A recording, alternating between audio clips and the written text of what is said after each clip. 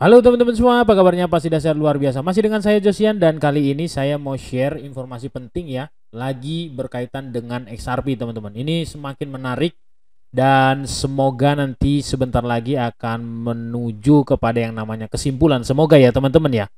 Jadi tidak ada lagi drama-drama di dalam XRP dan SEC teman-teman. Tapi sebelumnya teman-teman silahkan boleh subscribe, like, dan komen dan share video ini supaya semakin banyak orang yang mengerti tentang aset kripto, aset masa depan. Oke, langsung aja ya teman-teman. Di sini saya dapat informasi yang penting yang bisa sama-sama kita pahami ya teman-teman. Uh, terutama berita ini ya teman-teman ya. Uh, mana nih? Nah ini. Jadi dari Finance Feds ya teman-teman ya. Feds. Feds ya. Bagaimana jika Ripple kalah dalam gugatan? Ya ini ya teman-teman ya. Ya jadi kita harus siap nih itu adalah pernyataan pertanyaan ya, pertanyaan jutaan dolar, lebih baik lagi pertanyaan miliaran dolar menurut kapitalisasi pasar. Kita tahu sendiri ya teman-teman, kapitalisasi pasarnya si XRP ini sekitar 40 miliar ya teman-teman ya, 40 miliar dolar atau setara dengan 587 triliun ya teman-teman ya. Jadi itu sangat-sangat besar. Nah, meskipun pemegang XRP tidak memiliki saham Ripple Labs, jadi teman-teman begini ya, uh, kita beli XRP itu bukan berarti kita punya saham perusahaan Ripple. Jadi kita beli XRP itu ya XRP-nya gitu loh. Ya, XRP-nya bukan perusahaannya. Jangan sampai salah. Nah, dikatakan meskipun pemegang XRP tidak memiliki saham Ripple Labs, harga cryptocurrency yang berfluktuasi telah membuat pemiliknya mengikuti gugatan SEC melawan Ripple dengan intens. Maksudnya tahu nggak teman-teman? Maksudnya begini, saya pribadi beli XRP kan, tapi karena nggak naik, nggak turun apa segala macam, otomatis gugatan SEC kepada Ripple itu saya ikuti terus gitu maksudnya. Jadi walaupun kita bukan pemegang saham nih, tapi kita malah ngikutin ini kan kasus mereka ini gitu. Ya iyalah ya, karena semua investor jadi melihat ke arah sini gitu, ke arah gugatan SEC ini. Kenapa? Karena harganya nggak naik-naik. nah, gerakan SEC untuk menyerang pembelaan pemberitahuan adil Ripple adalah yang paling penting dari kasus ini sejauh ini. Kasus ini bahkan bisa sampai kepada keputusan ringkasan tentang pembelaan afirmatif itu yang tampaknya menjadi kepentingan Ripple. Banyak yang telah dibicarakan di masa lalu, ya.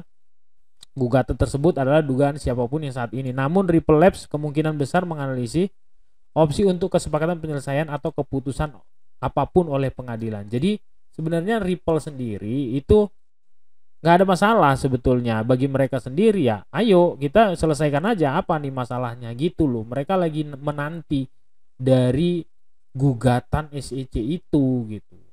Ya, pada Oktober 2020 salah satu pendiri Chris Larsen mengatakan bahwa perusahaan mungkin akan memindahkan kantor pusatnya ke luar negeri. Jadi ya teman-teman, si Ripple itu sebenarnya udah terbuka banget dia Kalian harus paham ini ya, teman-teman harus paham. Udah terbuka banget nih. Bahkan kalau dia bermasalah dan dinyatakan bermasalah dan bersalah di Amerika, mereka opsi opsi paling ekstrim menurut saya itu memindahkan kantor loh.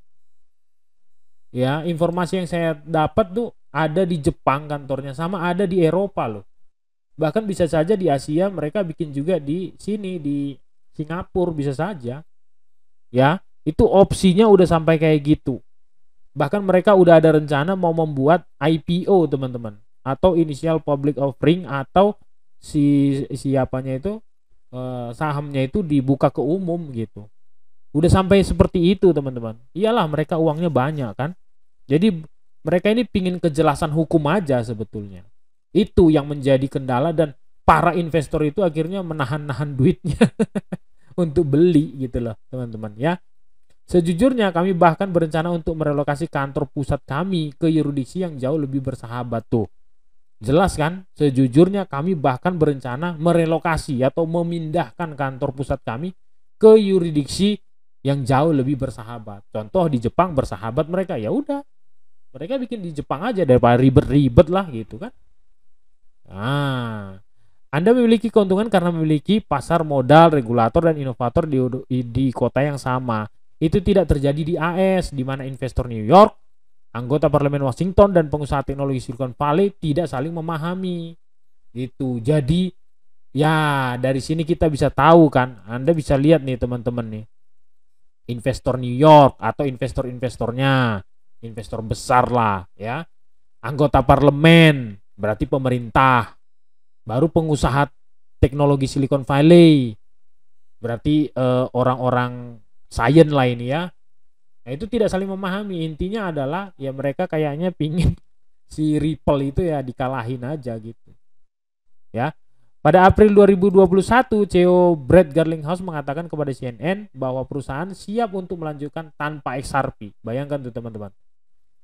Jika kalah dalam pertempuran hukum melawan regulator AS yang mengklaim XRP adalah keamanan perusahaan secara ilegal menjual cryptocurrency kepada investor. Jadi sebetulnya dari pihak Ripple-nya itu memang mereka udah ayo nih kalian mau bikin peraturan seperti apa? Apakah kami salah enggak nih? Kira-kira gitu. Cuman ya lagi-lagi kan menurut saya sih ini uh, apa ya taktik aja sih supaya didenda gitu kan. Kalau didenda kan lumayan loh teman-teman. Duitnya kan gede itu aja simple. Ya kalau dihukum dilarang gitu ilegal ya mereka keluar. Nggak dapat apa-apa toh orang SEC-nya atau apanya penggugatnya itu. Nah, tapi kalau misalnya didenda, nah itu kan gede teman-teman dendanya. Kan gitu ya. Kami bisa melakukan itu, kami selalu berpikir tentang produk kami bisa sebagaimana pertanda dan seterusnya ya teman-teman ya. Nah, jadi untuk menjawab pertanyaan bagaimana jika Ripple kalah dalam gugatan? Tidak ada yang tahu selain mereka. Tuh, sampai dikatakan seperti itu ya. Jadi tidak ada yang tahu selain orang XRP itu uh, orang uh, eh, SEC-nya sendiri. Jadi ya permainan mereka lah kira-kira gitu teman-teman. Tetapi pindah ke yuridiksi yang lebih ramah kemungkinan besar akan melayani kepentingan pemegang XRP dalam skenario seperti itu. Jadi mereka ini ya teman-teman memang udah siap teman-teman. Orang-orang Ripple itu udah sampai mengatakan begini, tidak ada yang tahu selain mereka loh.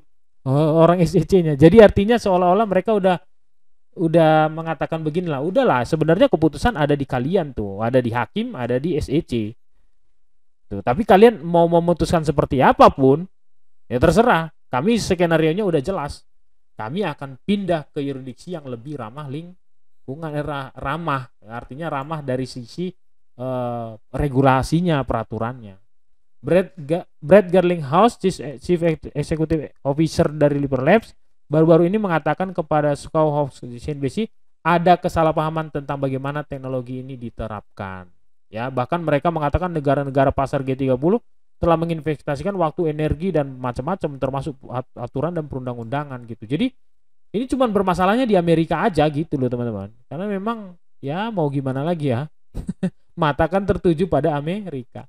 Bahkan teman-teman kalau lihat di Twitternya si Jeremy Hogan sebagai uh, apa? Pengacaranya Ripple nih dia bilang begini hakim menolak mosi SEC untuk memaksa pembuatan surat opini pengacara Ripple. Intinya dari hakim itu udah menolak sebenarnya kan untuk uh, apa uh, apa surat yang kemarin itu loh yang sempat dibuat itu oleh si SEC-nya kan Tuh, kalian bisa baca di sini. Ini ada lampirannya dibuat si Jeremy Hogan. Kalau kalian mau baca ya, tuh panjang juga dan bahasa Inggris ya. Saya aja males bacanya. Saya cuma lihat Twitternya si Jeremy Hogan aja udah membuktikan sebenarnya. Tapi ya itu ya, lagi-lagi semoga ini cepat selesai dan kalau saya yakin banget ya teman-teman, investor itu kan pemikirannya simple, nggak ada masalah, terutama berkaitan dengan hukum. Karena kalau berkaitan dengan hukum, itu berkaitan dengan negara teman-teman. Dan itu repot banget teman-teman.